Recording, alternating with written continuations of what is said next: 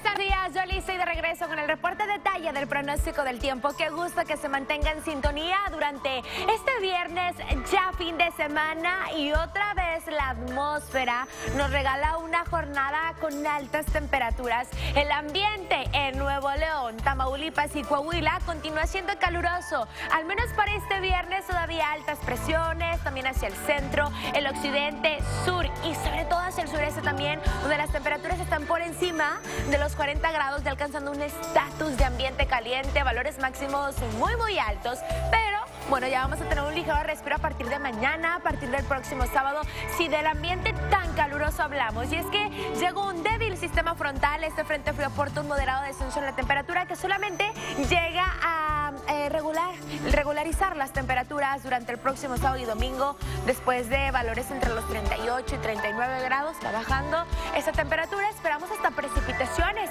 para el próximo domingo, lluvia que será ocasional. Ya le cuento, principalmente destacamos este viernes 38 grados de máxima, caluroso, el cielo parcialmente soleado también.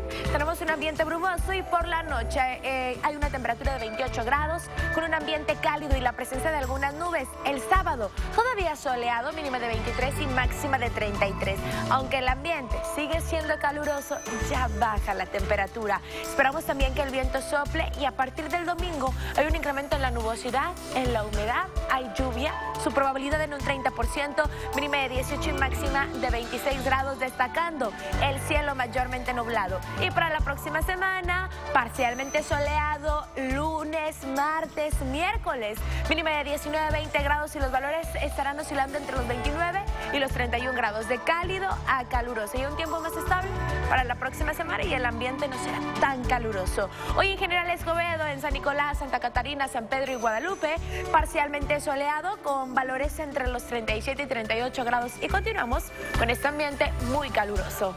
Hasta aquí el reporte del pronóstico del tiempo. Que sigan pasando una excelente mañana. Buenos días.